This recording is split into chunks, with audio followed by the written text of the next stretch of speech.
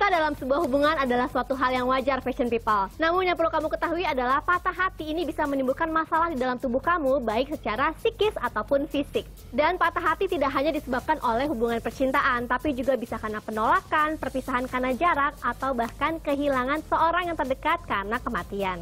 Gejala awal yang dirasakan orang yang mengalami sindrom patah hati adalah nyeri dada yang intens dan nafas yang cenderung pendek. Reaksi itu dipicu oleh lonjakan hormon stres yang disebabkan oleh kelelahan fisik dan emosional yang ekstrim. Nah, sindrom patah hati ini juga sering didiagnosis sebagai serangan jantung karena gejala dan hasil pemeriksaannya yang mirip. Dan berikut adalah gangguan kesehatan yang disebabkan oleh patah hati.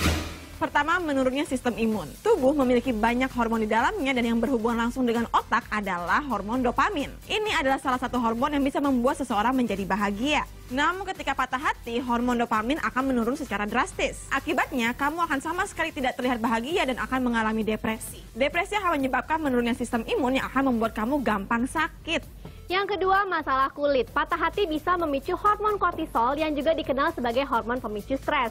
Nah, hormon kortisol ini bisa menyerang tubuh kamu sehingga kulit kamu menjadi lebih sensitif. Akibatnya, kulit kamu cenderung kusam, lalu muncul bintik-bintik pada wajah dan juga jerawat. Hal ini juga bisa menyerang kulit kepala kamu sehingga munculnya ketombe dan juga kerontokan pada rambut. Nah, jika kamu mengalami masalah kulit seperti ini, itu tandanya hormon di dalam tubuh kamu sedang terganggu. Yang ketiga adalah darah tinggi. Peningkatan tekanan darah dalam waktu pendek akan mendorong terjadinya krisis hipertensif. Hal ini akan menyebabkan sakit kepala, kesulitan bernafas, hingga mimisan. Stres juga sering kali membuat kita melakukan hal-hal yang tidak sehat seperti merokok, minum minuman keras, atau makan dalam porsi yang berlebihan. Dan hal-hal tersebut juga salah satu penyebab terjadinya darah tinggi loh fashion people. Yang terakhir adalah asam lambung dan juga gangguan pencernaan. Jika saat patah hati kamu merasa nafsu makan kamu berkurang, itu disebabkan oleh produksi hormon kortisol yang sedang meningkat. Hormon kortisol yang diproduksi ketika kamu sedang mengalami stres itu bisa menghambat aliran darah ke saluran pencernaan. Akibatnya produksi asam lambung meningkat dan memberikan rasa tidak nyaman pada perut kamu. Lambung dapat menghasilkan asam yang lebih banyak sehingga sistem pencernaan kamu tidak seimbang. Selain itu, makanan juga jadi bergerak lebih lambat dan tubuh kamu tidak dapat menyerap nutrisi yang utama bersama.